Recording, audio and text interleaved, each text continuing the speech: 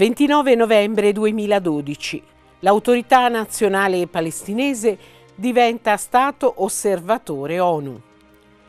Nel settembre 2011 Abu Abbas, presidente dell'autorità nazionale, aveva presentato al Consiglio di sicurezza delle Nazioni Unite istanza di ammissione come Stato indipendente, ma gli Stati Uniti posero il veto.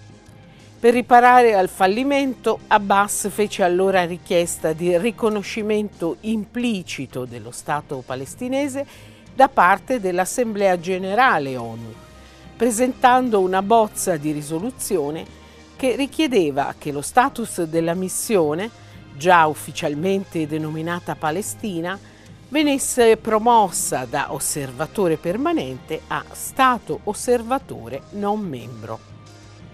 Dopo l'approvazione, con 138 paesi favorevoli, 9 contrari e 41 astenuti, avvenuta il 29 novembre 2012, la nuova designazione, pur di rango inferiore alla piena adesione alle Nazioni Unite, consente ai palestinesi nuovo accesso a organismi e trattati internazionali che ne accrescono i finanziamenti.